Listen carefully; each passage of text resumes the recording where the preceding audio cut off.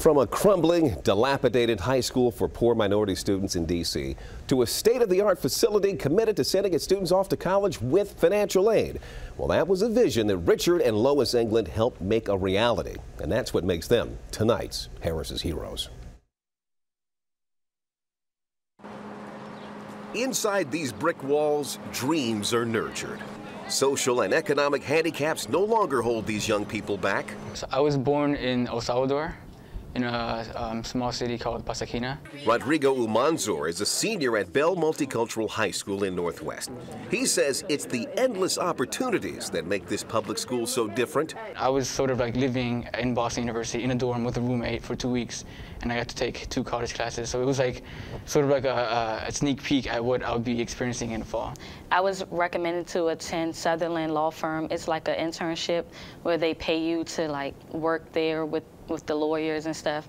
And then after you finish the program, you get a $1,000 scholarship. The school has come a long way in the last decade.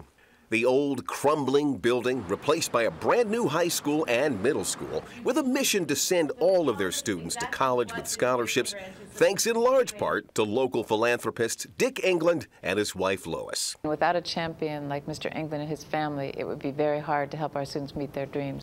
The England stayed involved, helping students move on to college. No question that it's just a wonderful, wonderful thing to see. I'm going to be going to the University of Wisconsin at Madison, and I, I hope to study biomedical engineering. The school I'm going to is Virginia Commonwealth University, and I want to study business administration. Dick England died in April, but his legacy will live on in every student who comes through these doors. And the story of that educational campus is far from over. They've already served more than 25,000 low-income minority students in D.C., and they're making new stars every single day. Allison. What a success story. Leon, thank you for sharing that.